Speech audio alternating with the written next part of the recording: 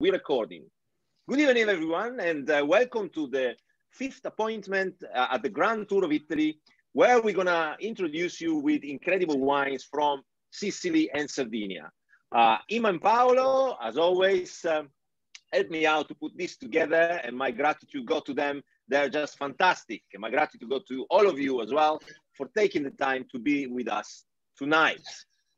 Um, I am again uh, my very good wizardry in technology will allow me to share a screen with you. Please be aware that you can sort of um, modulate how many people you want to see. Uh, on the top right of uh, many devices, there is a view button and you can do side-by-side -side gallery. You, you can just watch whoever is speaking and we will be very, very useful later when we're gonna have our special guest uh, from uh, Etna, wine producer. We're gonna do another volcano today. That's quite, quite interesting and, uh, and uh, romantic of us. Um, and then uh, please do use the chat. The chat is usually at the, at the bottom of, of your screen, and you can communicate with us. Paolo, you are Sicilian. Today is your night please look after the chat because I've been told off the last time I missed so many messages. So I, I give you the, the, the, the, the chat uh, management uh, is all yours. And um, please be good. Um, and we're going to ask you a lot about Sicily. Um, and uh, for what is concerning Sardinia, we've been there enough to be able to, to tell a few things ourselves. Excellent. So without further ado, let's try to get this in the right order. That should be a little bit better. Maybe let's have a look. Slideshow. Oh. Let's start, please, uh, Imma, while I'm battling with the technology as usual. yeah, okay. Uh, well, this evening is correct. We will uh, have a look in what is the main island of Italy and uh, as well island in the islands, because of course, yes, we do have island in Italy, the biggest one, we have Sicily and Sardinia, but we do have the smallest one, that they are around of the main island that we will talk about with you today as well. The southern part of Italy, especially the island, they are famous for a lot of things. The first thing that comes in mind, of course, is the sea, the beautiful uh, Tyrrhenian Sea that is in both of uh, our island today. And uh, as always, Bruno, we start with uh, what we will not talk about this evening. That is a favorite part, I believe. One, one of my favorite part. We're going to talk about what we're not going to talk about. It's just a political correctness uh, sort of attack that I had at one point saying, but there are so many more things to say about uh, all, all, the parts of Italy that we sort of uh, traveled uh, through. And, you know, it's just a shame not to mention them. So we're not going to talk about them but we're going to mention them. So we couldn't talk about Sicily and Sardinia and, and not talk about Pistacchio di Bronte, which is one of the most precious kind of pistachio. If you are, are, are a pistachio lover, you go to Sicily, you cannot miss to try Pistacchio di Bronte. Um, we cannot we cannot talk about it um, widely, but you know, Bottarga is one of the most precious local food in Sardinia. And remind me exactly the definition of botarga. Yeah, the botarga is basically um, cured fish raw. So it's oh, spelled R O E, which really confused me because I was like, well, it's not raw fish, is it? It's cured. Yeah, but it's raw fish. It's a cured fish raw. Uh, it's lovely uh, condiment. Uh, Mrs. Cernecca know about it because he appears in our fridge every now and again. You just you just um, uh, uh, shave it on top of a very nice sort of uh, seafood um, uh, spaghetti. All by itself is very tasty and absolutely lovely. Very typical of sardinia. La valle dei templi which is the temples valley uh, we're talking about sicily of course agrigento and all the greek temples that you can find in there. Arancina which was the cause of a big argument between between paolo and myself you wouldn't believe this, but Paolo and myself had a big argument because I called them arancino or arancini. And then uh, obviously, because uh, Paolo is from Palermo, uh, they do things their own way and they're very stubborn. So he wanted me to put arancina ending by A. So to avoid uh, total separation of our two uh, entities, I sort of gave in, but I will carry on calling arancini all my life, and so will my family. And uh, with the girls, many times in our kitchen, we cooked arancini. Uh, it is a beautiful uh, way to, to pass an entire afternoon because it's quite a long preparation, but it's really worth uh, the taste. Uh, Carasau bread is something that as wine lovers, we love. It's a, it's a sort of thin bread, typical of Sardinian cuisine, um, and is, is, is, a sheet of bread, very, very thin, and uh, you can use It's like carta di musica is, uh, is known as in other region, but we love Carasau. We got in our wine shop in, uh, in Covent Garden. We can't wait for you to visit. Ichnusa is the number one selling beer in Italy at the moment and is from Sardinia. Palermo, uh, we're to open now a, a, a, little bracket with Palermo. Paolo, you have uh, one minute to tell us everything we need to know about Palermo. And you start now. So basically, Palermo, I believe, is the not because it's part of the is the city of my region, but it was a um, really important as well. Like uh, a years ago, two years ago, it was the capital of the region for the Patrimonio UNESCO. It's the UNESCO, yeah, cultural um, treasures of, yes. uh, of the world, basically. And uh, so when we go to Palermo, where do we need to go? Teatro Massimo. Teatro Massimo. Monreale. Maximum Teatro. Okay. Monreale, that is the biggest church with the small mosaic with the, all the golden pieces. So there are ah, okay. pieces there, and there is the best church in the Europe for the mosaic. Fantastic. What do you drink in Palermo? Or what do you eat in Palermo that you don't have anywhere else? So panino con la milza or pane that means uh, uh, bread with the same kind of interior, I can say, uh, of animal. And it's yeah, it's not very popular in, in the UK, but you know no. we go with it. Yeah, yeah, no. it's very good. It's they call, uh, called offal. offal. Yeah, you it's can a uh, sandwich with offal inside. Very nice. Yes, and with strutto. Anyway, in uh, with uh, with the animal fat strutto, which yes. also is not very popular here in the UK. No. But you know what? We can't wait to be there in Palermo and uh, uh, eat fat and uh, offals out of a sandwich. Absolutely fabulous. And of course, you have cannoli, cannoli siciliani, one of the most famous desserts of, uh, of, uh, of the world. And if you haven't tried cannoli siciliani, you need to try cannoli siciliani because we you're never gonna forget them ever.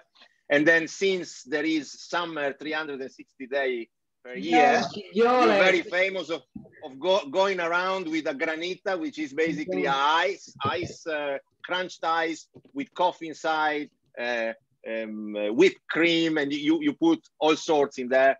Fantastic. I think uh, Mrs. Cernecca remember about Granita in Sicily when we visited uh, not long ago. And then another thing that we cannot forget to say is, of course, for what is concerning Sardinia, La Costa Smeralda, one of the most beautiful places to go on holiday.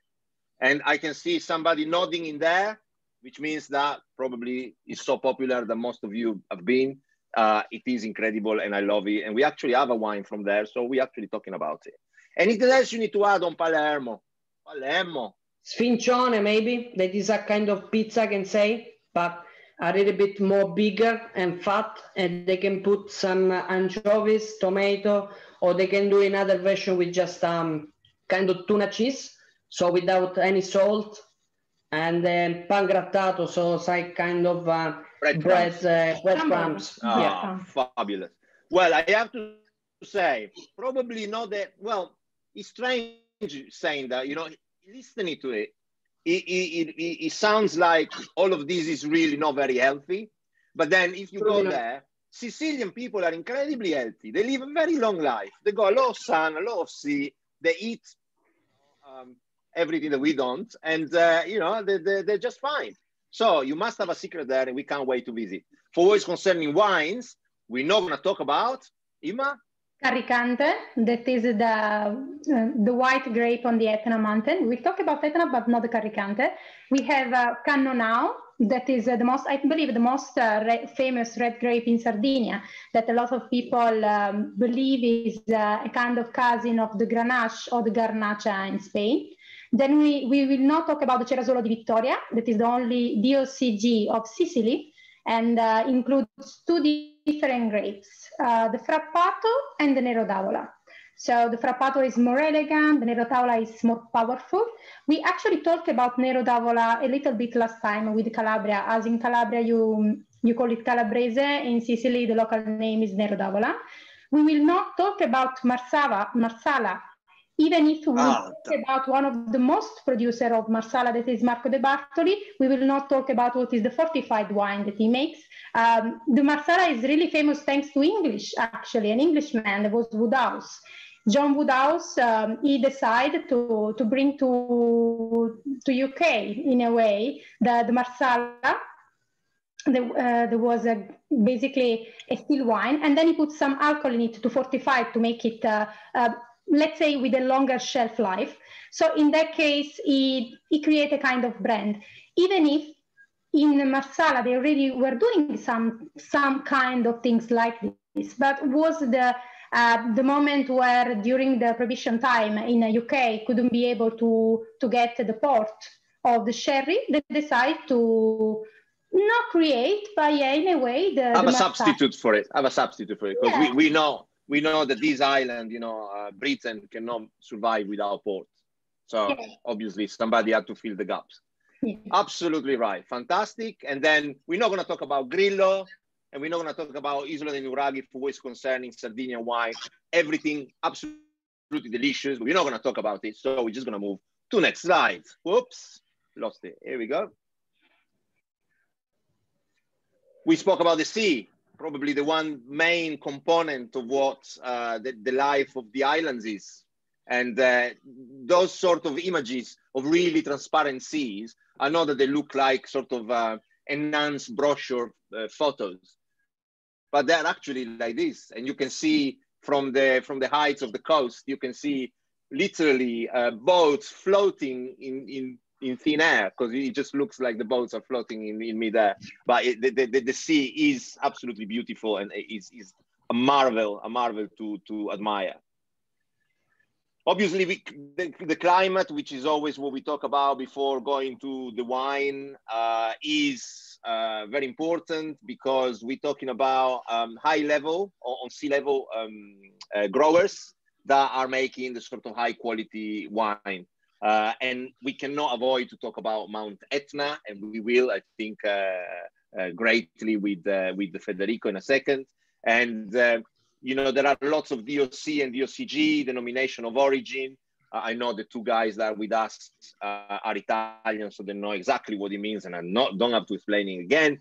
And you know, for what is concerning Sardinia, we have this big influence of, of Spain in in what is uh, the wine culture in there. And we have to say, this time we're not going back on traditional culture, you know, typical of the locals and local grape varieties, etc. Because it looks like, although although they are defined as local grape variety, it looks like the influence from Spain with the Grenache called Cannonau or the Carignan uh, is evident. So um, very, very interesting. And uh, obviously the uh, main variety Vermentino di Gallura DOCG, uh, located on the north of the island. And I take this uh, opportunity um, to start with our first wine, to raise the glass, as we usually do. We done pretty well. Uh, 20 minutes, we haven't even started tasting. As usual, we late. Enjoy your wine. Wine number one from Pantelleria. Yes. Pantelleria is uh, famous for sweet wine, especially from the grape that you're actually tasting this evening, that is the Zibibbo itself. And this um, is located in the south part of uh, what is the main island of Sicily, like you can see from the, you can see from the map. It's a really important production of Zibibbo on the Pantelleria Island, and it's really nice because if you go there, if you will have opportunity to go, um, you will have this bush tree, little one that uh, they cannot be too tall because of course there is a strong wind as well that's coming. And uh, they are really lovely. You got this little wall and then you have this little bush tree and everything that's coming from the wind. So you got the minerality, the sandy soil soil as well, because of course it's an island, so the majority of it is sand as a soil. And then you have all of these uh, amazing uh, grape that if you put your nose um, in the glass, you can see how sweet look in the nose as well. So this grape is saying to you, okay, let me dry and I will make you an amazing passito because this is what they make, uh, especially in the Pantelleria Island. Only in the latest year, they decide to make uh, the Zibibbo as well as a dry wine. And I think uh, it's lovely as well because it does have an amazing balance on the mouth as a um, acidity, a good acidity for sure, a great minerality in this wine, but the nose is, uh, is amazing. Like if you smell it, you're like, okay, give me three bottles, not only one. So that's uh, why I believe they make uh, sweet wine, especially, but we do like the dry version as well. And Marco De Bartoli is one of the, the best producer. You know, when I mentioned Marsala, uh, Marco De Bartoli is the one that uh, had the opportunity that uh, he put this, uh, he in a way renew what was the idea of the Marsala in the past. Because when Budao started to, to import the Marsala, the idea of the general people of Marsala was in a cheap wine the Marsala is a, a, really amazing nectar. And uh, Marco De Bartoli put this possibility, these, uh, these ideas, as well in what this would be the, um, in Pantelleria, the sweet wine as well. He has a Bukkuram winery in this case, that means father of the vineyard. Uh, what do you think, Bruno? I think is extremely different from everything that we had so far. So I like the novelty of this wine. I like, I like the characteristic. I think the acidity is really, really high. I've been told by uh, one of our guests last week that we are not technical enough and somebody wants a little bit more of tasting happening when we do the wine. Uh, so let's go and do the traditional uh, sommelier tasting from visual. I like the brilliancy of the color. I think he is a, is a nice sort of straw yellow, but it's got a sort of golden brilliance into it. And uh, I think this is, is quite classical of the of the Zibibbo, the Zibibbo grape.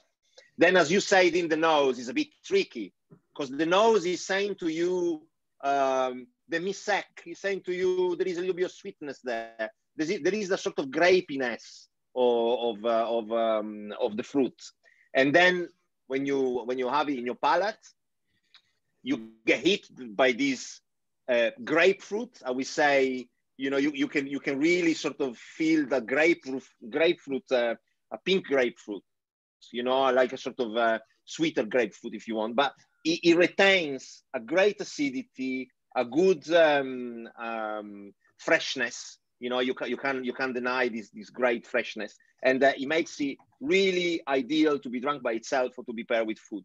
I absolutely love it. Okay, so we got a few uh, questions, uh, as Paolo is quite rightly pointing out.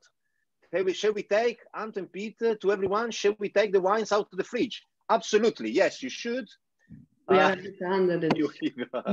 Fantastic. Uh, would be the temperature serving. They're asking which temperature would be the wine uh, need to be served this wine. Yes, um, I'm not a great uh, supporter of really cold white wine unless we are out in the garden and the sun is hitting badly. Um, I always say I like, you know, like a sort of a little bit warmer than fridge temperature. I usually take it out of the fridge when we're having our wine. Not that the bottle is ever going to last very long in our household, but you know, I I, I, like it a little bit over the, the, the fridge temperature. Would you agree? Just a little yeah. bit over. Said so. This will will will will uh, play very well even in lower temperature because I like. I would say yeah, around ten to twelve degree. That would be my uh, that would be my drink. Yeah, I mean I agree as well. When it comes to be a warmer, the wine is open up more, especially on the nose but obviously um, depends the kind of wine. This one is a nice acidity, so it's okay to do 12 degrees, I believe. And then they're asking if it's good with spicy food. The nose is, I believe, is perfect. Uh, and as well, the alcohol content uh, is um, mm. be a perfect pairing, to be honest, with the curry, but alcohol content can help as well because it's not that high.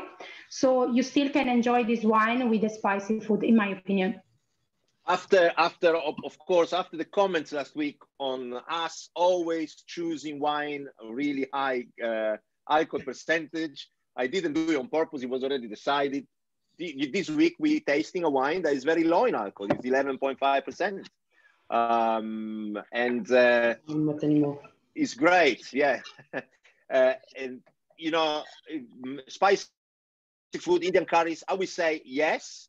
Um, it depends which level of spiciness, of course, because I don't think he's got the structure of the body to resist to, to things. But I think I think he will go very well with sort of spicy food.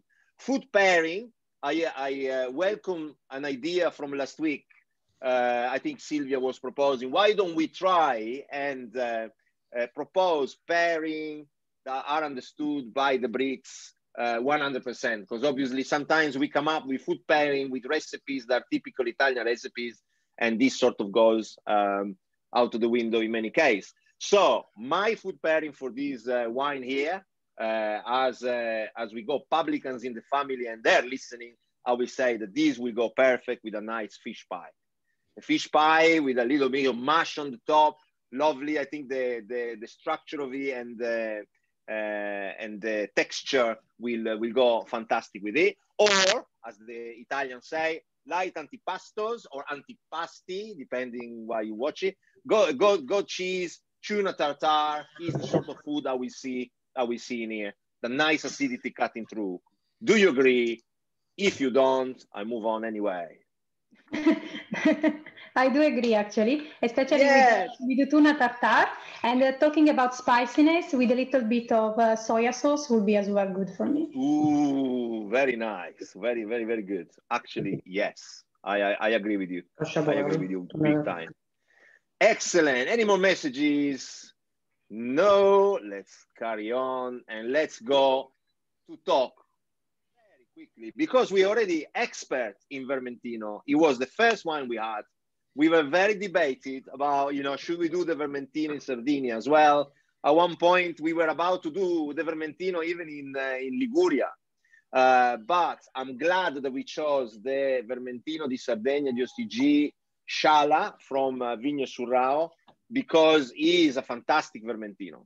Not that the other one wasn't, but uh, I think this is the sort of next level up. Uh, and uh, we are going to the top tier Vermentino of Italy. Uh, this wine, especially, um, uh, won the Tre Bicchieri, which is the highest uh, score for the Gambero Rosso um, publication in Italy, which is which is very very important. And uh, he won the Tre Bicchieri, I think, for seven years running, uh, which is something that doesn't really happen much. And I can tell you that in Sardinia, there are a lot of very good Vermentino producers. So very quickly about Sardinia, the second largest island in the Mediterranean Sea.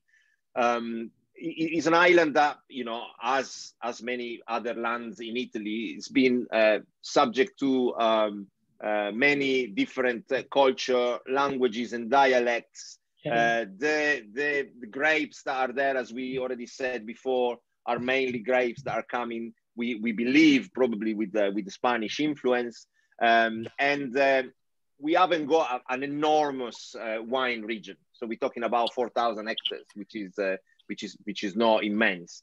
Um, but wines are grown in Sardinia mainly in uh, in uh, area called like uh, uh Campidano, between the, the, the, capital of the region, Cagliari, uh, and uh, Oristano in, in, the southwest, and Olbia and Sassari and Alghero.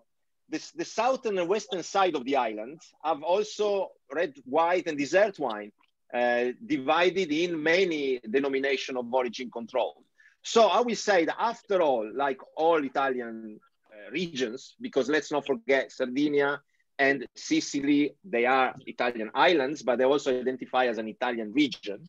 Um, they have their own identity in what is concerning uh, gastronomy, food, and wine, and no difference in here.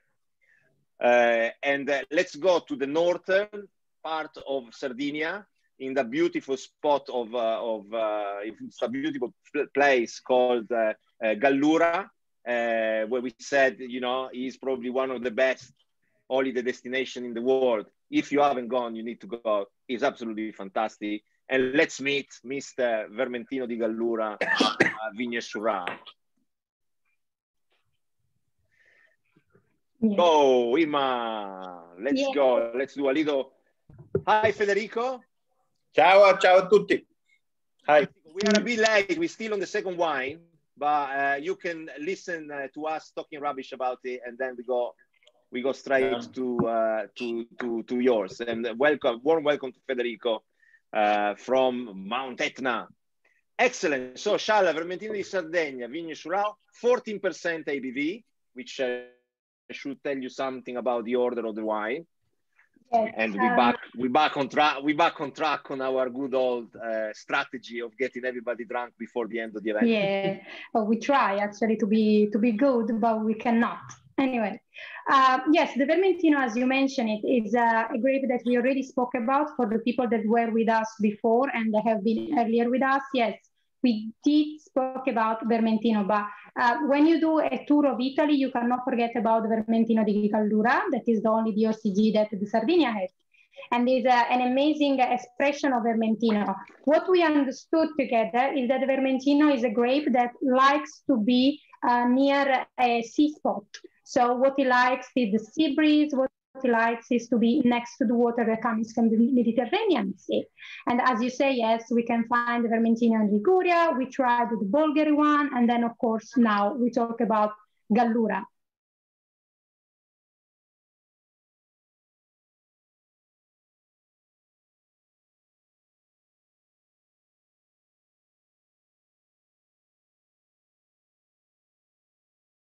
At best, but for sure, one of the best in Italy as um,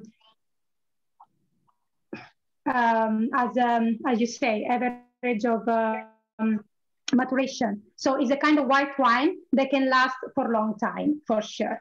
And this particular one is really nice. It comes next, next to a zone that is uh, the Costa Smeralda and the city of uh, Arzachena that is uh, amazing, of course, as a sea spot, but then you do have amazing vineyards that are not too above this, not too high on the on the sea level, like 150 um, meters above the sea level, and then you can get from this one an amazing uh, minerality and saltiness on nose, right?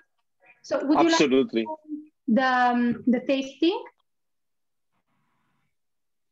Again, we got a brilliant um, straw yellow going to golden, which I always like. It's sort of give me an, an, an anteprima um, of, uh, of the actual of the actual wine that follows. And this time, I can see, I can really see a sort of correlation between the nose and the palate. You know what I mean? You just get a very strong minerality on the palate, the saltiness, what we call sapidity, uh, and uh, you know, it is absolutely beautiful to see how this wine is uh, taking over the palate in its complexity. Uh, the minerality is there, typical of uh, of uh, Vermentino, and is um, I will say the persistence of the of the um, of the wine in the mouth, and also the fact that together with the, the fruitiness, you get uh, a little bit of vegetal in there. You know, there, there is a, a, flower on the nose, a little bit of vegetal, and uh, and uh, great persistence and and and mineral notes. This what does it for me. W- would you like to add anything, Ima?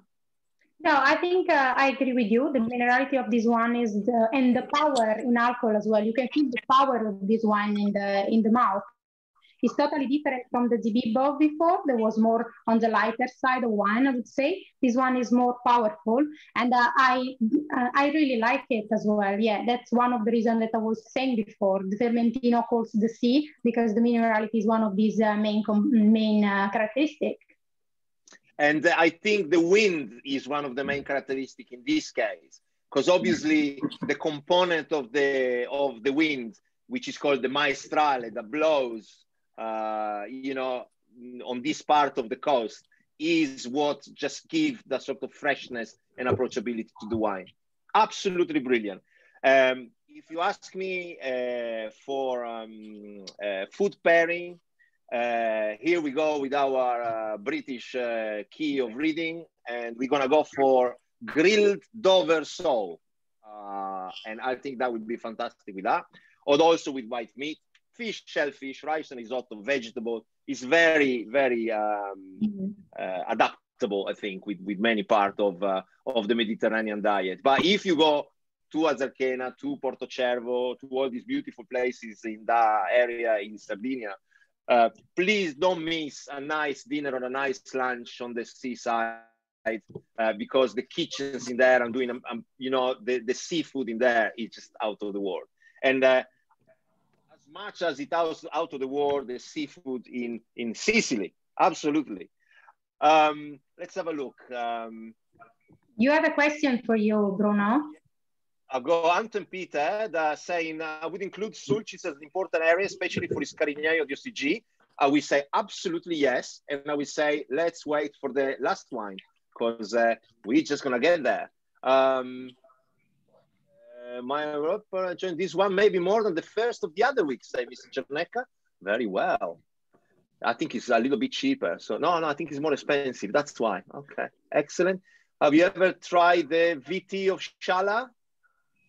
Vendemmia Tardiva, I believe. Ah, the Vendemmia Tardiva. Yes, very much so. Very much so. And uh, last time we had a very long conversation. It was last time, not uh, two events ago. We had a very long conversation about Vendemmia Tardiva uh, with Francesco Bordini from uh, from Villa Papiano. And uh, yes, uh, I tried it, and it's amazing. Really, really nice. nice really, really good. And I think Mrs. Cernecca tried it as well, but it was a few years ago. So I, I believe I understand when she doesn't remember. Uh, what does vegetal mean? Please. Um, help me out here, uh, Ima. So you usually uh, find fruits um, in wine, and uh, that are very sort of recognizable.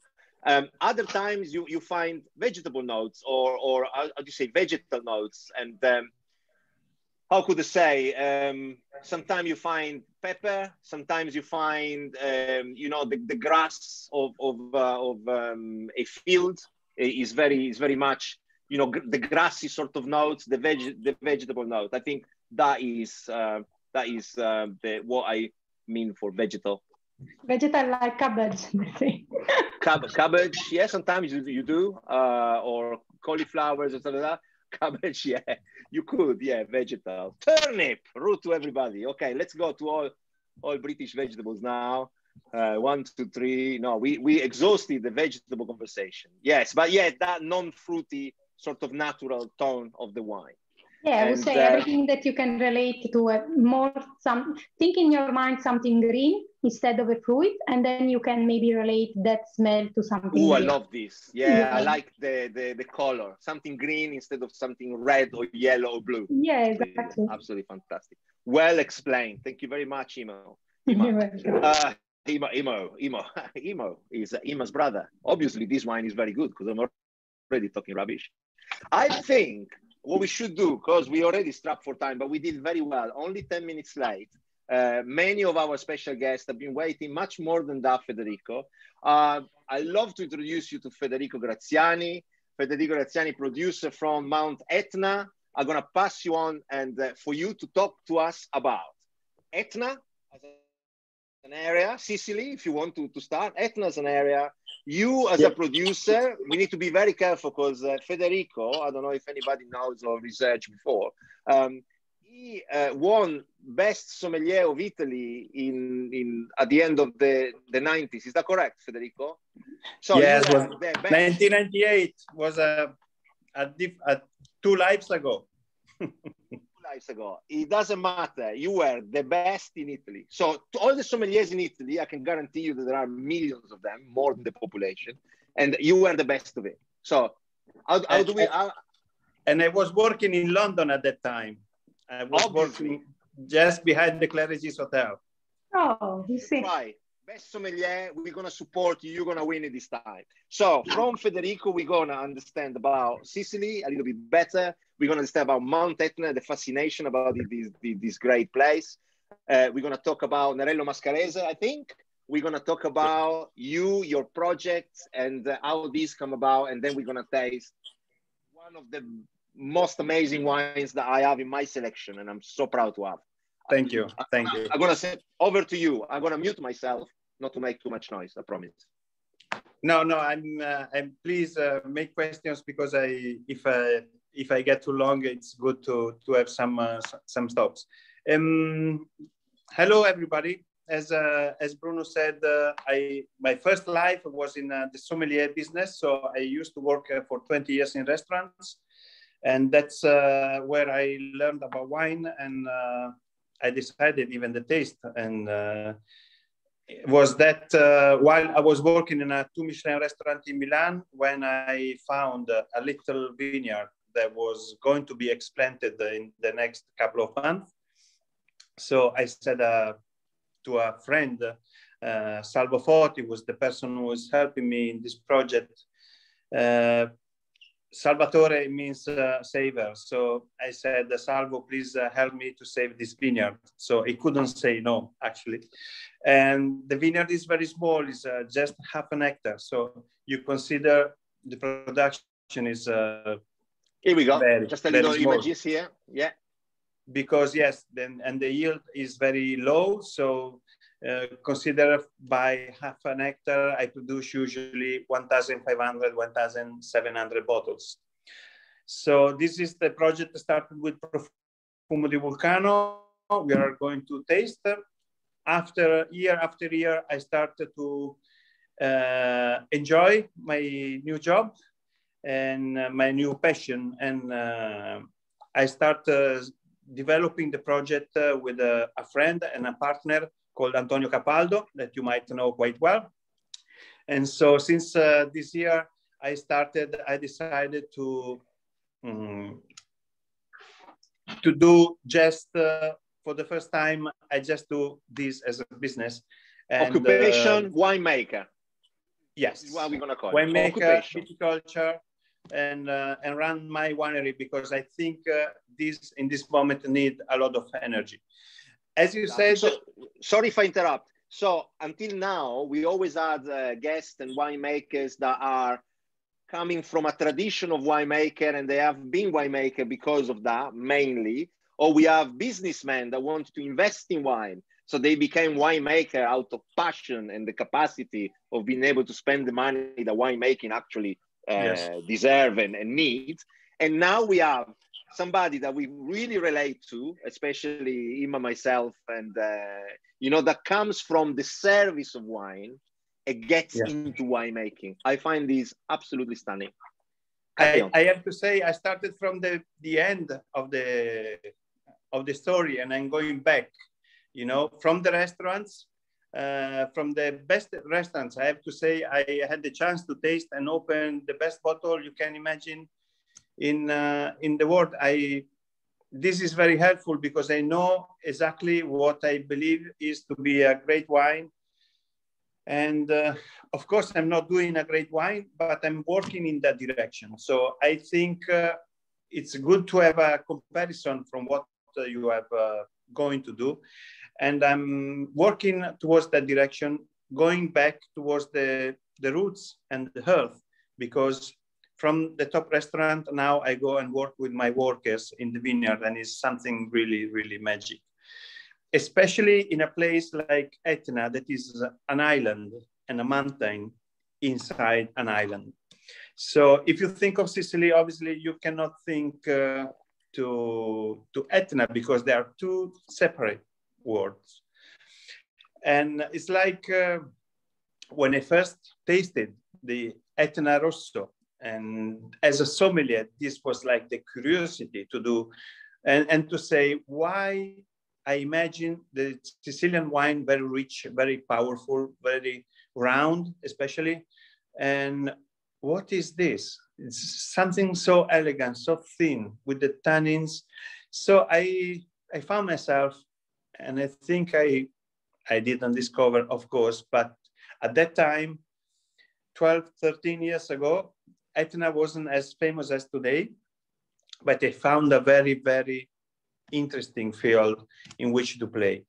And uh, one side is the mountain. Consider the vineyard are between 600 and 800 meters for the red.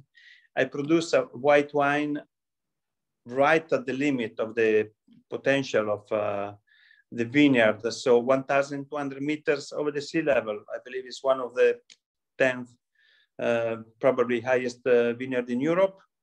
Of course, the normal variety, the Sicilian variety, Nerello Mascalese and Carricante, they don't grow, they don't ripe at that altitude. So I will have to plant with Salvo Foti different grapes. Northern, variety. So Renan Riesling, Gewürztraminer, Chenin Blanc, and some Carricante. So it's a, it's a place where you can do, you have a lot of paradox because you have a light that is a very Mediterranean. Consider the light of Sicily, I believe is something special. You cannot have it nowhere else. When you go out of the airplane, whenever you fly there, I think I feel this difference in light. At the same time, we are on a mountain. At the same time, we have uh, between uh, the fire, as you see, I believe the imagine of the Etna in the last couple of days, it is uh, simply spectacular. It's something you don't believe is comes from nature, but it's so powerful. They just come, it could just come from nature. So are you scared? Are you scared of Etna? Of course, of course you have, you are, but at the same time, you see this beauty and you say, wow, it's something magic. It's not something you can describe easily. So it's uh, it's an amazing it's an amazing uh, place where you have uh, the the for example the volcanic stone. There's something more ascetic that doesn't uh, does exist in nature. Uh, you can see the lava the lava uh, trip in mm-hmm. yeah uh, from uh, the 1980s is still there. There is no one plant on top of it because lava is really lava and the and the volcanic stone is really something ascetic. Nothing can uh, can grow there. Just some uh, pistachio tree and something is the first plants uh, who can reach a volcanic a new volcanic soil.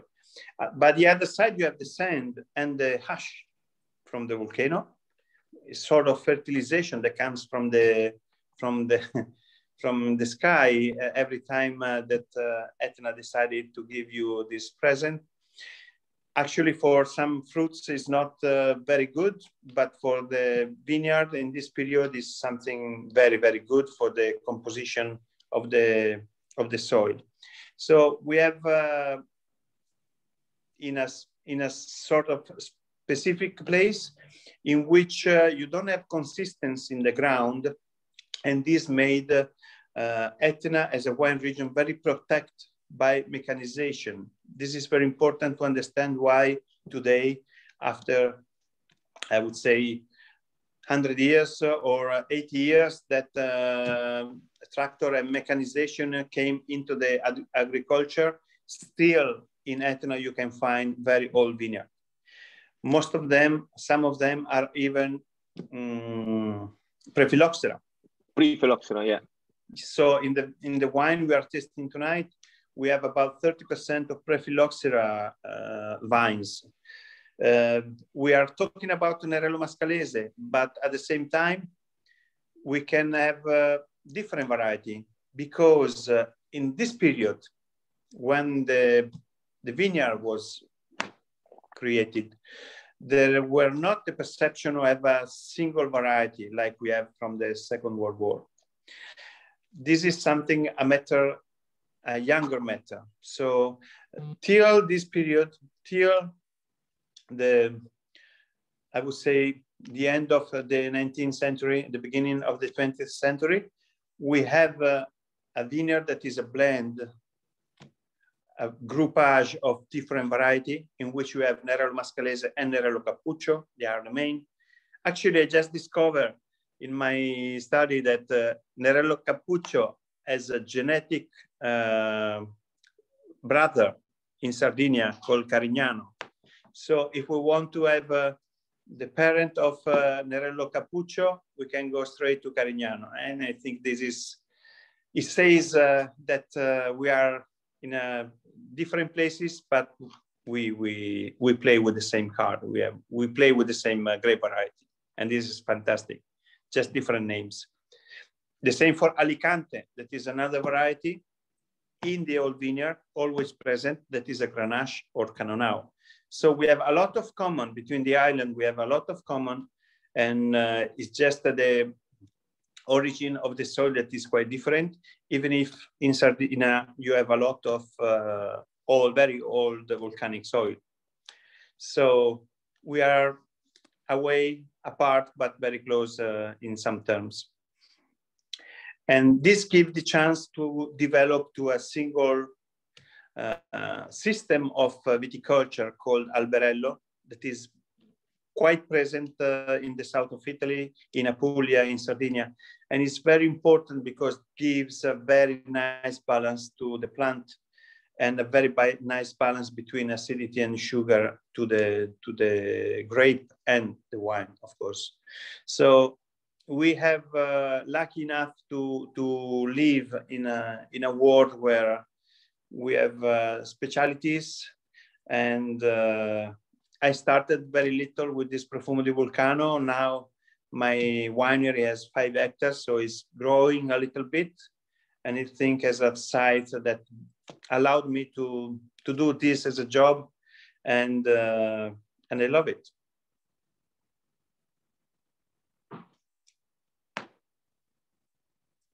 Sorry, I couldn't find the unmute button, which is the reason why I never mute myself. Uh, this is absolutely fascinating, uh, Federico, and uh, you know we we, th we thank you for the for the story. It, it, it's incredible. What is the reason why? Because obviously the project started with Profumo di Vulcano as a wine, as as a wine itself, and then is it just a business thing that um, pushed you to to um, look into uh, expanding the vineyard and, and planting different grapes? No, actually, uh, I was uh, sad because uh, if you consider what 1,500 bottles, especially in the first vintages, this was the number. Um, three bot 300 bottles, I drink it myself uh, during the year. So it lasts 150 I drink, uh, the other 50, and you finish the, the whole bottle. Yeah, you're right. Yeah, I, I believe uh, you don't uh, give a message if your wine has, has been tasted during a year by 2000 people. It's not enough to, to communicate your idea of Etna. That's why I started to do from the younger vine to a more simple Etna, more affordable, not just in terms of price, but also in terms of uh, availability, because uh, the problem is uh, when uh, we have so little bottle that uh, the wine lasts for a few months and then uh, you don't have you don't have to talk uh, anymore. It's like but at the same time you don't reach as many people as you want to uh, with your idea of etna and so you truly are on a mission. You are on a mission. The mission of the, you know, evangelist. You're an evangelist of Etna now. Mm, I think uh, I have uh, the duty to to talk about um, Etna through my wine, and I think is fantastic.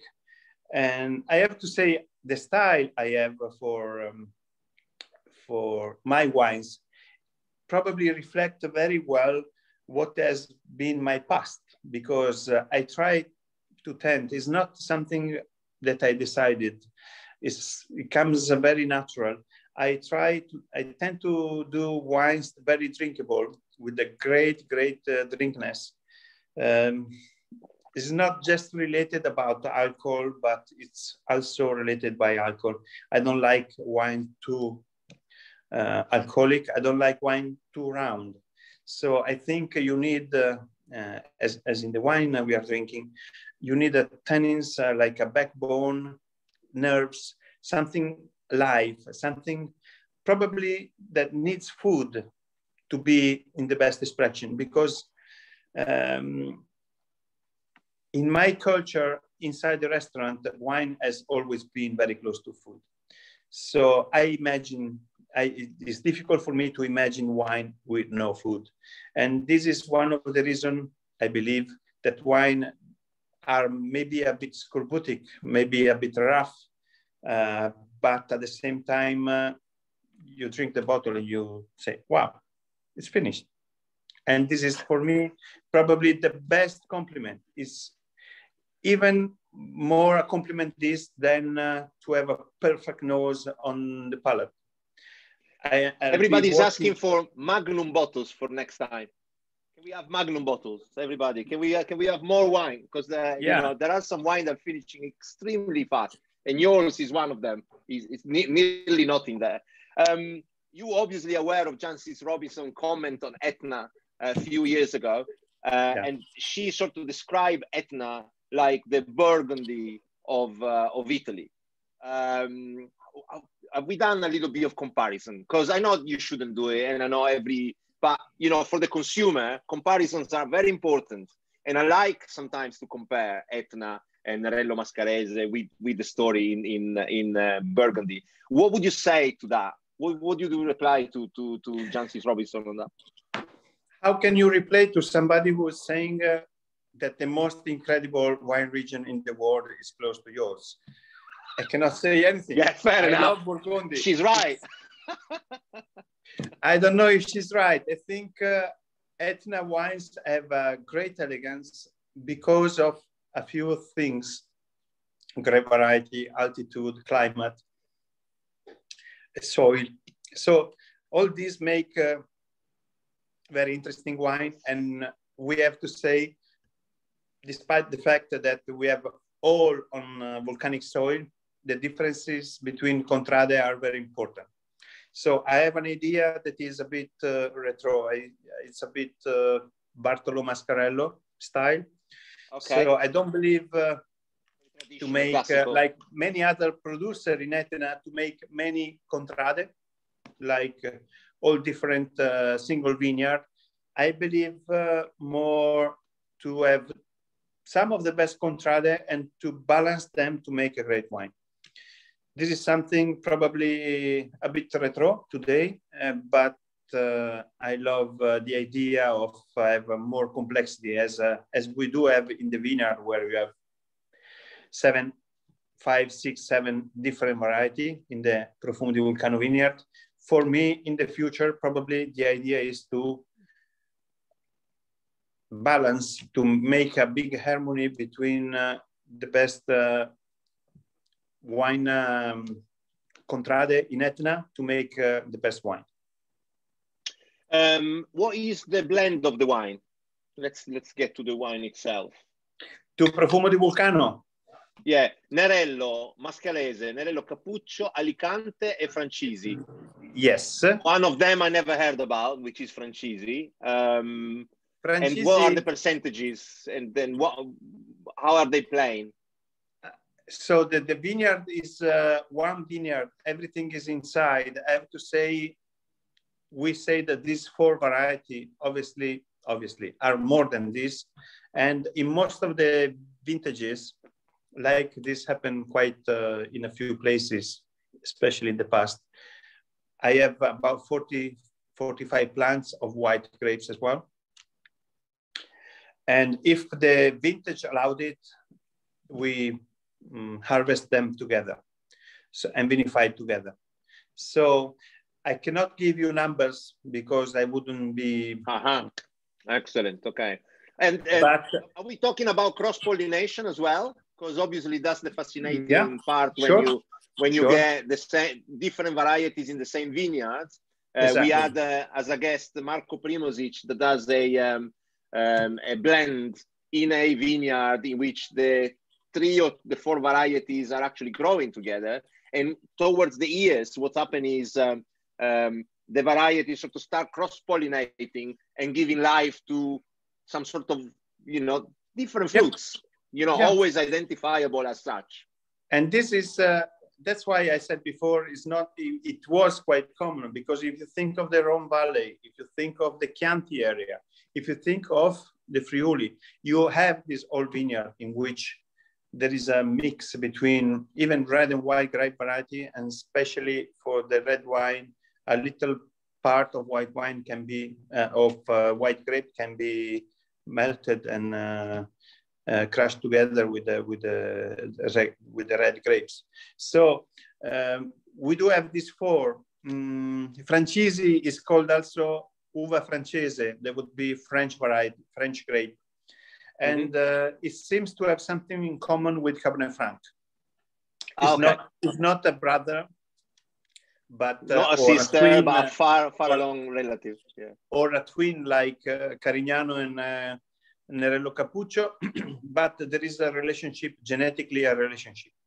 And then we have also a little plant of Carricante, Minella, and Grecanico. And we know Grecanico is Garganega, so we go from Sicily to Soave and back. And this is just fantastic because you see the grape variety, the good grape variety moves through Italy, but take different names, but uh, the good variety are still there. So absolutely fascinating. Should we taste it? You still got some in there. Yeah, you still got some. Dif difficult oh. to say percentage, but I would say uh, about 80, 85% is uh, by Nerellos. Obviously, you have a little bit more of Alicante that was quite common, especially going up because it's uh, earlier um, ripening grape. Um, I would say five, six percent, and then you have another few points of uh, Francisi and few two, three percent of uh, the white grapes mixed together. Absolutely fantastic. Let's go for it. Yeah, I think from uh, other Etna, what you really feel is the, the nuance of the nose. This uh, sort of Mediterranean nose that is made mainly by the richness of the um, variability of the richness of the variety you have in the vineyard. I think if I had a vineyard like uh, this just for and for example, I have it in, uh, in the Etna Rosso, more simple. The, the nose is more precise, is more polite. In this case, with, with the Profumo di Vulcano, you have an, a nose that is a bit enthusiastic, uh, friendly, uh, Mediterranean, balsamic, majoran, uh, capers. So sort of this aroma, they are not typically characteristic of um, the Mascalese, but in small percentage, I believe, start to build the, the richness of the nose. And I have to say, I like very much the vintage of 2016 is probably one of the most elegant wine I ever done. And I probably is uh, my favorite in the 10th. Uh, I, I, I, love to say I knew it, but I didn't. But I'm so glad you're saying that because uh, it is an immensely great wine. Um, Andrea is asking, does Nerello Mascalese have an important quantity on anthocyanins, which are the, the compounds yeah. inside the, the, the, skin? Is that right? So if we... Like Grenache. We can say what uh, Nerello Mascalese uh, is related to. Mm, that gives the idea of uh, the taste as well. And uh, richness of tannins, but not much of anthocyans. And uh, Nerello Mascalese is uh, the son of uh, a great Italian variety called Sangiovese.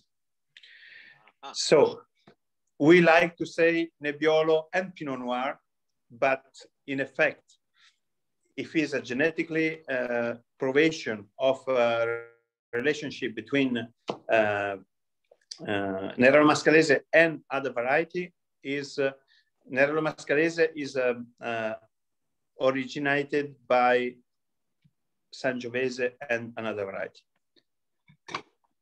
Is in a burgundy bottle. Is this to cash in on Jancis Robinson? Very funny, Barry. Really? What, what can we do without you? Um, or not left on the lees? There is tannins. How long will this age? I have to say, um, I think the potential, it depends even how you vinify the, the, the wine, I believe. Actually, I've been uh, considering this. I've been uh, to, uh, I, I, started to study for the Master Wine in 2009. So very difficult, very, I couldn't make it. Obviously, we still are waiting for the first Italian wine, Master Wine. But I know. Uh, Sorry, I, I, I, couldn't do it. I can't study anymore. Sorry. during that period, I had the chance to participate at the wine tasting of Chateau Margaux, and Jancis Robinson was there as well, and uh, was like 10 different wines from 20 years. So it was like from 85 to 2005. And the chef de cave starts saying, you know, to a very similar vintage in climate uh, vintage like 2005 and 85, quite warm, uh, quite uh, rich in, uh, in power as do those two vintages. today we harvested the grape about 14 days after. And I said, that's something, I had the glasses in front of me and I said, if I had to think, if I had to do a wine, I want to do 80s wine. And because the, the 2005 is, is a great wine, obviously, but uh, for me, it changes the way of perception, uh, the perception of maturity. And the maturity or the polyphenolic maturity for me, especially in Etna, is not as good because uh, gives a roundness that uh, and a lot of richness, power, pulp, that uh, at the end uh, it's uh, it makes the, the wine heavier and it makes the wine um, is I, I, like to do this comparison between athletes. Um, 100 meters Muscular, uh, yeah. muscles, a lot of power, a lot of, and then you see the marathonette, they're all very skinny, bone, skin, and nerves. There's nothing else, and they make 40 kilometers. Um, my idea of wine is uh, going in that direction. So my wine, especially at the beginning, are a bit scorbutic, as I said before, a bit rough. But in my opinion, this gives the chance to develop and to mature very slowly. And uh, for what I tasted, I now uh, now I'm tasting uh, Etnas from the first 2010, 2011, my first vintages. They are still very, very good.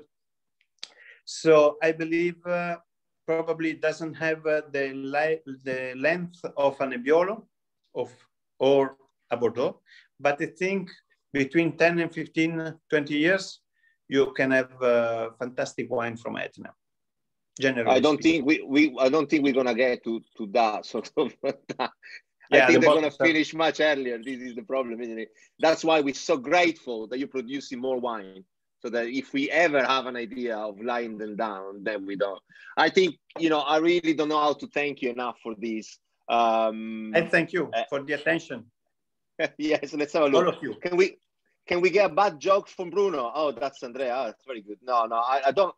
After this wine, I, I, I, just I just get serious. I, I can't joke anymore because uh, I'm really in front of uh, something very very special. And and again, thank you so much for being with us.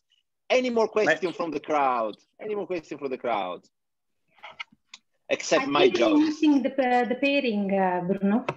Oh, missing the pairing. This is very good. I um, I did um, I did think about this um, about this pairing, and uh, I, I, I go back again onto the uh, my my pub experience, and uh, I I will go for uh, liver mash and a nice cutting through, elegant. Uh, because I, I, because obviously I like it very much, um, and uh, it's always very easy to say red meat. You know, red wine, red meat. It's always very easy to say that, and in fact, it's correct because you, should say that. But I, I will, uh, I will get meat that have uh, sort of more personality and taste, and I think the liver always got a very nice. Also, the texture of the liver. If it's not overcooked, if if it's on the right sort of medium, a little bit rarish, shall we say, pink in the middle, that you get a sort of nice soft tender inside.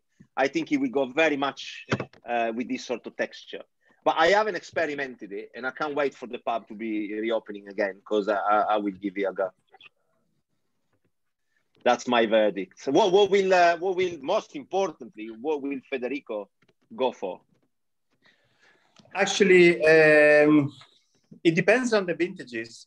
If we are talking about this vintage, I have to say um, I really like uh, the lamb chop as a kind of piece for um, as, as, probably I would think for for a nice Burgundy or a, either side. Uh, I have to say I tested with some uh, tuna, with uh, raw tuna or um, green tuna Ooh, a nice steak. Yeah. A nice steak, maybe with some uh, black currant or blackberry on top. And uh, I would say just to find an excuse and open it, and something uh, to cook will come in your mind. But uh, yes, as you said, uh, the most common uh, direction is to go towards uh, towards the red meat. I, I like Pepperidge uh, with the Profumo di Vulcano. I would say Pepperidge yeah. and and um, and lamb are probably my first options. Okay, excellent. So game and lamb, very good, excellent. Uh, news from Paolo that is thinking uh, very good, learning fast, thinking the same dish of Imma. Now you need to tell me which which which which food were you thinking about, Paolo? I was wondering uh, with the duck, to be honest with you, when I yeah. the wine. Said, Imma, what do you think about the duck? And she said, I was thinking the same. I said, you know what? I will write. Like I'm learning, so I don't yeah, know why. I say I was thinking. I didn't say you were right. this is what we're going through every week in here. I believe. Uh, I believe the duck should be even uh, really great because the duck is a little bit sweet, and this one with the profumo, uh, the is, volcano. Yeah, the volcano profumo is perfume is great. I mean, it's just my opinion. You know that I'm learning, so I'm excused in this case. But if I, I get, Paolo. sorry, You're always excused. Yeah, That's why. Yes, no learning. We all learning. You know, is uh, no nobody. He is more than a marathon uh, dealing with wine uh, using using uh, Federico's metaphor because you never end learning. I think, and um, I love the fact that. Um, that Federico wines come from an experience that is incredibly different from many that we see uh, in wine producing, and we wish him the very best. And we can't wait for you to produce even more vintages. And uh, let's hope that Etna behaves itself, though. Yeah, uh, yeah, yeah. when I do events uh, and I talk about Etna, I always uh, I always say three things to remember about volcanic uh, wines. First, and Etna in particular. First is obviously the soil so the fact that the soil, yeah. as you say, it's got natural sort of the ash, etc., uh, is, is, very good soil to, to grow plants. The second is uh, the difference in temperature between the night and day. I've been uh, been told by many by many producers in there because obviously you're very high, so the difference in temperature for many parts of the year are quite important, and that yes, makes and, and because the light the light in the day is very hot, so exactly. it's very easy to go from 16 to 40. 38, 40. Which is absolutely crazy if you think about that. And then the third thing is they're there today. You don't know if they're going to be there tomorrow, which uh, just give us like a sort of an emotional, an emotional and philosophical thought about, you know, our lucky and privilege we are, we are, we are together. Jokes aside, you know, is uh, yeah. this, is we was uh, what they say. How how will this eruption affect the grapes for this vintage? Actually, it won't. Asking. It, it, it does, uh, it will not, as long as uh, we have a sort of fertilization coming from the sky, as I said before, and this will help probably the future, not this vintage, but the future of the consistency of the soil, uh, because it will mix uh, to the sand and to the stone. The Etna is a good friend. Well, it, it definitely is he definitely for what you, you told us today. He definitely I, is. I think it's like the sea. As long as you have respect of it, you don't you don't have to worry about. Fantastic. Yeah. If beautiful phrase from Ian. If the if the vines have been there 100 years, then they dodge the volcano, buy an old house on Etna. We're with you, Ian. Very nice suggestion, actually true. Um, the question we're asking everybody is, can we come and visit you? Absolutely. And I was just saying, uh, big plane and uh, organize a visit. We are we are 45 minutes from uh, uh, from Catania, one hour from Catania, so it's quite common. It's quite uh, uh, easy to get there. Mm, just uh, advise me in advance. Yeah, I you think by, by, by if we got, if we carry on like we do now, I think it's gonna be by 2027. Yeah. No, yeah. but uh, I have a, I have a, a, olive tree. I have an olive tree just inside uh, the vineyard that is uh, 800 years old, and this make the shadow for all of you and even more people. So please come and we can stay there and drink a Profumo di Vulcano under the olive tree. Fantastic. And uh, there was a photo that you sent me about the olive tree. Should we just very quickly talk about this? Because uh, sure. it's not only wine there. Sure. It's, um, if you went one second. I think he's going to get a bottle. No, no, no, no, no.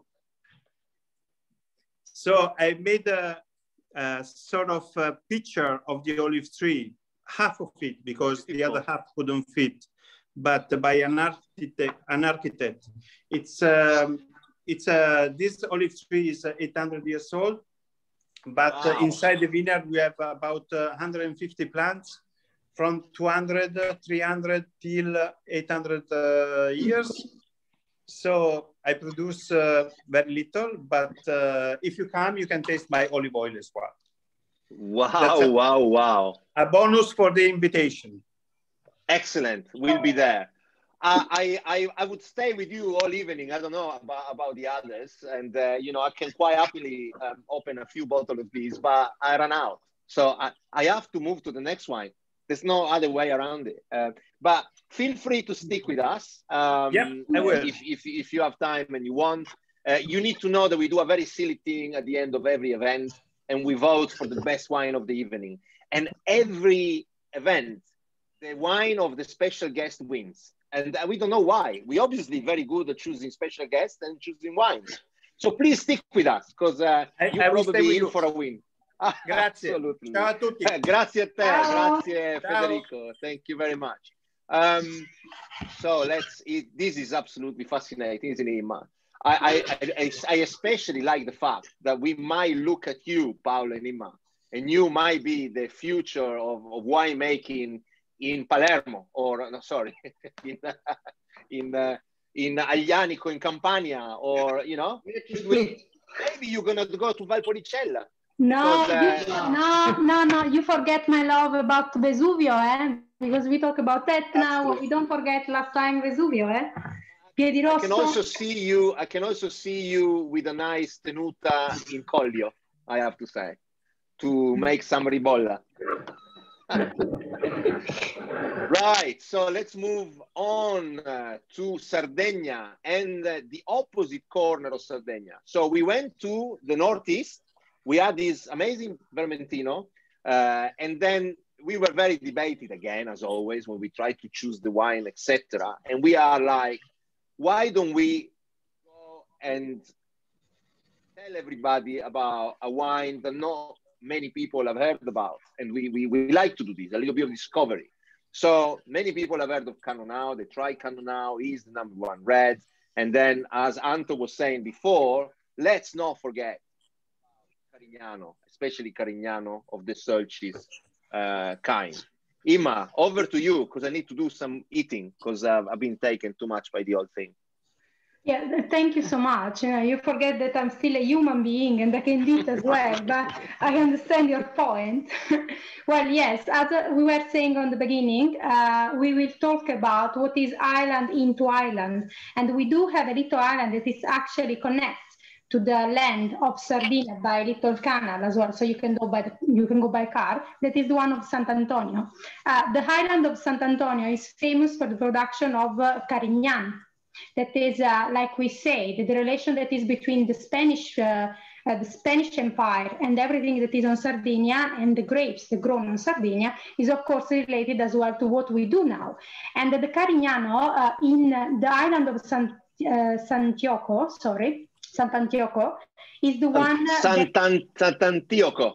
Sant'Antioco. Somebody help us here. Sant'Antioco. It's even difficult for us to pronounce. It is Antani, Antani, exactly, Antani. Come se fosse Antani, lui. Let's, uh, let's understand that uh, it's my second bottle of wine this evening, you know, and then still I'm a human being as well. Anyway, uh, we are uh, in a sandy soil for sure.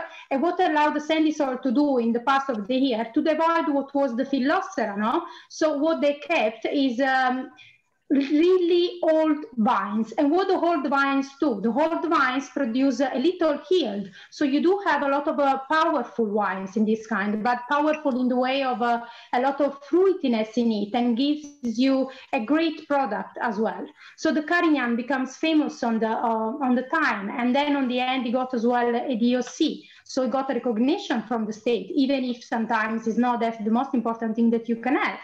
Uh, but in your glass, you will find a wine that is related, yes, to the fruit, but it is well related to what is the vegetable notes we were talking about before. You know, on my nose is on the first time you find, uh, for example, the pepper, not the same that you find in Cabernet Franc. Okay, don't get me wrong, but you do have a lovely notes, and uh, you what we when we talk about Prefillossera vines, we do have to understand that we talk about a miracle that happened thanks to um, soils like the Vulcan on the Etna, thanks to the soil that we have uh, uh, on the on this island, so sandy soil, we didn't allow this little pest to give us uh, trouble. So to to delay everything that was as uh, our heritage in vines in Europe.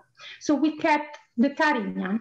And here in uh, La Tenuta La Sabbiosa, Sabbiosa actually has a sand. So they try to do uh, everything that is possible to keep what is the, the traditional method of the production in the vineyard and then to use during the winemaking what is uh, the, the modern age gave us. So they give you a really nice uh, and enjoyable wine, even if the Carignan for me is a powerful grape. So sometimes it can be too much in this case, I do enjoy uh, this um, this drink in this moment. Actually, what do you think? I think um, I'm with you. Carignan is usually quite um, yeah. in your face, isn't it? It's, it's, it's, nice and powerful and to the point. Um, I like this. He still retain the power of Carignan, I, I will say.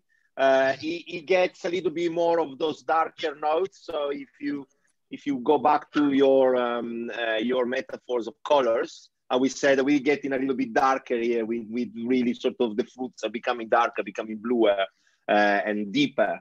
Um, the spiciness is lovely, I will say, um, and I like the the balsamic of it. Absolutely, very very good, very satisfying and balanced. You can see the color is very deep compared to what we had before from Federico, in which the color was a ruby very nice and lively and transparent. We're just going deep. And um, um, sense that we say is those wines that are a bit powdery in their texture. I don't know if you if you agree with me.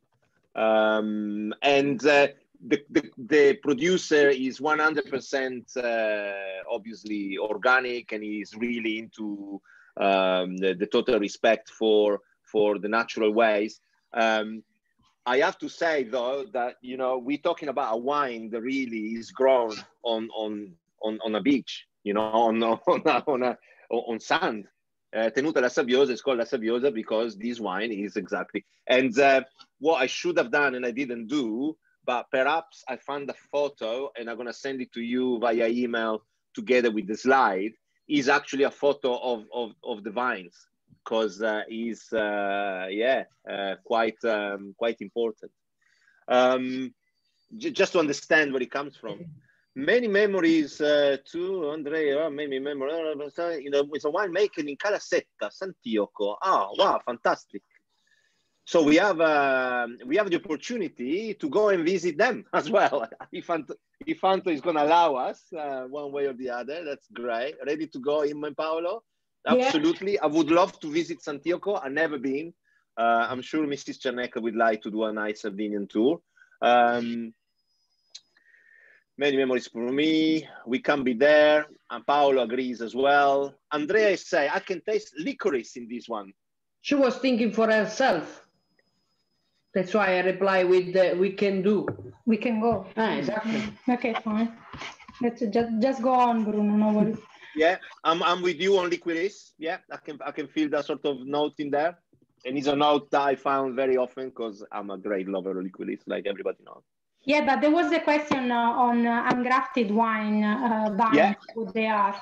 Again. Well done, well done for catching that. Yeah. Uh, well, we did explain last time as well. Uh, what is ungrafted wines is uh, a Piede Franco wines. Um, let's say that there was a little uh, bad pest that came um, a certain time in Europe and decided to destroy the vines.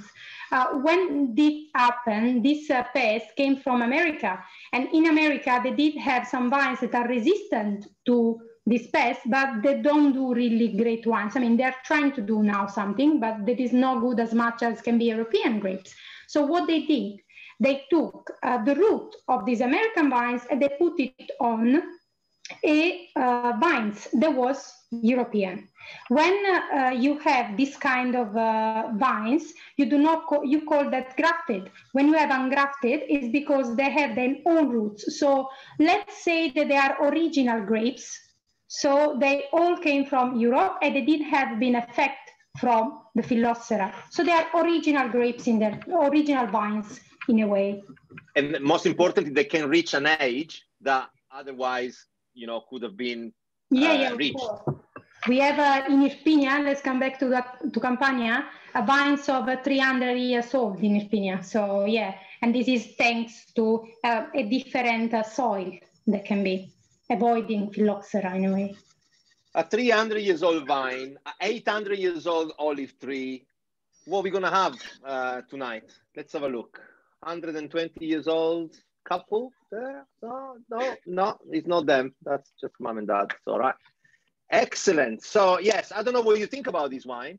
Um, I really like it, and um, I uh, I was very sort of aware of uh, uh, what could follow uh, Federico's wine because um, um, it's just so different, and it's not about power. It just about character. I think it's not about power; it's just about character. And I, I, I was very tempted to switch them at one point, even if the alcohol content was different, just to get that sort of uh, feeling at the end. But I have to say that these sort of withstand uh, everybody that needs, you know, that sort of uh, uh, deep sensation in the wine, the sort of muscle, that sort of 100 meters uh, runners. Uh, and I think we achieved that with a, with a, with a great product at a uh, price if you think about the sort of yields and the difficulty that you get into uh, that sort of land, I think is, is brilliant. It's a 2017 vintage, uh, many certifications. Um, yeah, biological, 14%. I particularly like, I, especially like it. it. It's really, really good. So with this, we sort of conclude. If anybody's got uh, any other question, here we go. Some more messages coming through. Uh, yes, the, the food uh, food pairing, wild boar or porceddu with this uh, with this red. Andrea, you you're absolutely right. Uh, I will go for a nice wild boar uh, ragu or the nice wild boar steak and uh, and um. What are your favorite Carignano di Sulcis? My other favorite Carignano di Sulcis, uh, Terre Brune, yes, I tried it and I think it's very, very good. I have to say, I'm not an expert because I haven't tasted enough of it. But if at any point there is a tasting dedicated to Sardinia and Carignano di Sulcis in particular, I'm pretty sure myself, Imma, and Paolo are going to be ready with our trade reference and uh, we're going to go and explore more. But yes, I've, I've, um, I've tried Terre Brune uh, it was many years ago, um, and I do have a good memory of it. Yeah, absolutely, absolutely.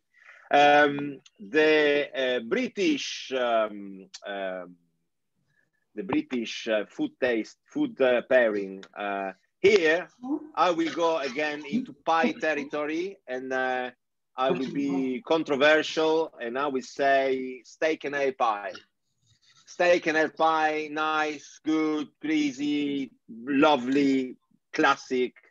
Uh, and yes, I think that will go lovely with it. Uh, this wine compared to the previous wine, I will see always with red meat. But as you know, as the power of the wine goes up, I usually like the, the, the pairing with more charcoaly sort of method of cooking the meat. So more sort of carbon infused flavors in there that I think go very well with this sort of power and this sort of uh, uh, depth of the, the wine. Uh, love the two reds tonight, Barry and Trudy.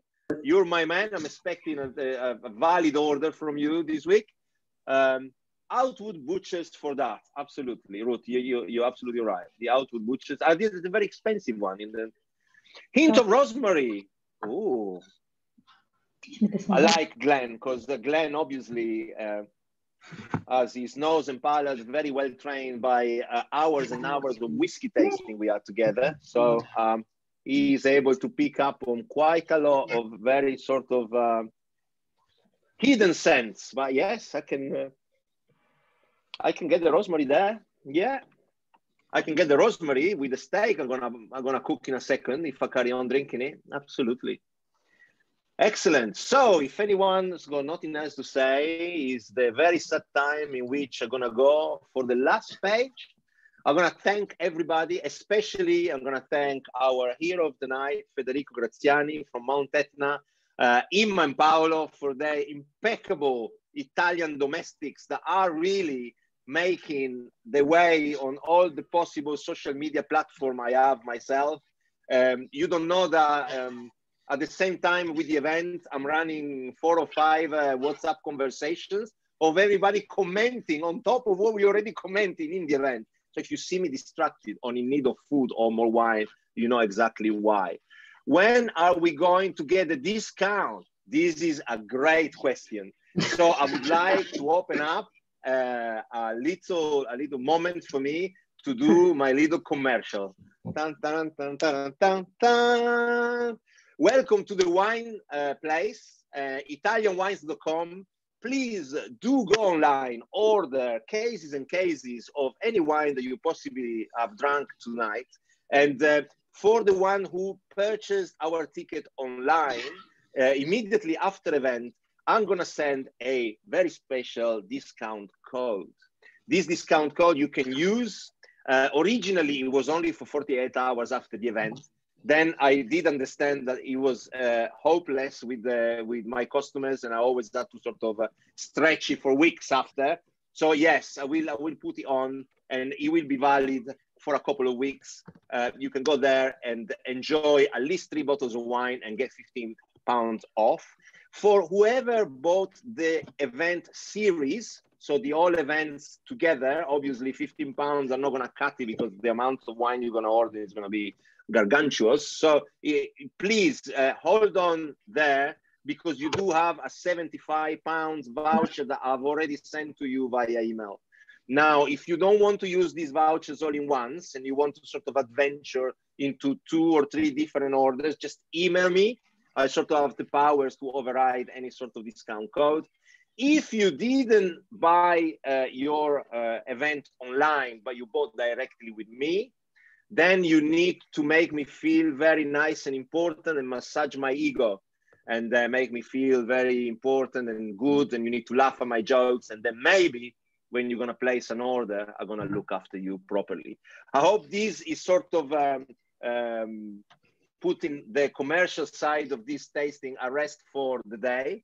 Uh, i have thank you for yeah the shirt is good. I have to say um, my friend Carl, I don't know if he's there as well, shares with me, well, with my wife, looks like, uh, the passion for this brand of shirts. They're called Frangipani. I'm going to write it down. If anybody wants to be a little bit Bruno or Carl in, uh, in a bit, um, you can order those online. They're very nice, actually, and they're very comfortable. And they have the designs that will really, uh, here we go, frangipani.co.uk, I think it is. Do we get a discount for the shirts too? My mom has the same curtains. Was that? That's one. That's my line. You just copied it from me. Okay. Uh, we love you, Bruno. You are so funny and well dressed. Thank you, Ruth. You said exactly the right thing. Immediately for you, 25% off. Ooh, very well done. Oh no, that was uh, oh that was uh, Guy apparently. Oh, that is all getting wrong. Anyway, thank you very much. We got the last episode next week, and it's very sad because all of these is sort of gonna end which is terrible. Maybe we should do another one. Maybe I'm thinking about it. And I've got something special lined up for you next week. What I'm going to try to do next week, and I know it's going to be probably a little bit longer, it's going to go on for long, but it's the last time. So we need to make it special because we got the grand finale. So I was thinking about doing two things. And then you tell me if you agree or not. Okay. The first one, I wanted to invite producers, So instead of having one special guest, we're gonna have four special guests next time. I don't know if you agree with that, but it's more or less already done. So that's uh, my surprise. Um, and um, and then the other thing is, for a bit of fun, whoever wants to, I think it will be very nice, simply because my tuxedo's been in a in a wardrobe for about a year because I couldn't go and wear it anywhere because nobody's inviting me to party anymore uh, for the COVID and for other reasons. I think we should just sort of dress up for the occasion for the last thing, like we should go into the Claridge's for a very important night out. So I will, I will definitely get my tuxedo out. Uh, uh, shirt and ties are very welcome, and we want to see uh, how possibly all the ladies are going to work out their uh, the the, the uh, hairdressing skills without going to the hairdresser. And so please do, Uh, by all means, uh, uh, get on board with us. We're going to have an amazing selection of wine. We're going to go to Piemonte, which is a dedicated event, and four wines are not going to be enough to tell the story. But anyway, so without without any more information, because obviously next week event is already sold out, so we can even advertise it. Uh, I really thank everybody, and I'm gonna stop the recording now. Thank you very much.